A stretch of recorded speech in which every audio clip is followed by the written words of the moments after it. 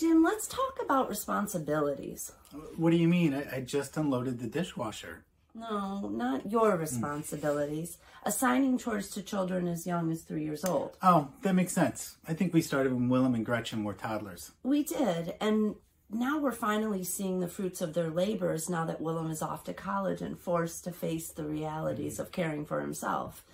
You know, we know from over 50 years of implementing this at school that children who have a set of consistent responsibilities in place have higher self esteem, they're more responsible, they're better able to deal with frustration and delayed gratification, all of which contribute to greater success in school, not to mention life.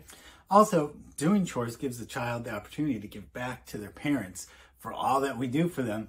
Kids begin to see themselves as important contributors to the family.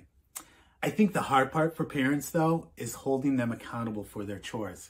But this is where leadership parenting comes in. Mm-hmm.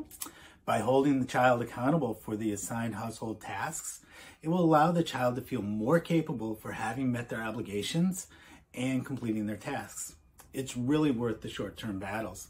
Yeah, and by not teaching them the skills of everyday living, we limit a child's ability to function at age appropriate levels. Mm. Teachers can spot a child who has no responsibility at home a mile away. By expecting children to complete self care tasks and to help with household chores, parents equip children with the skills to function independently in the outside world. Do you remember how we got started with this when the kids were little, Jim? I, I, do. We came up with a list of daily tasks that needed to be completed here at home. That's right. And we started small when they're re- when they were really young, and some were personal responsibilities like making their bed every day or putting away toys, but others were for the better of the family. Sure, like setting the table for all of us and vacuuming the common areas.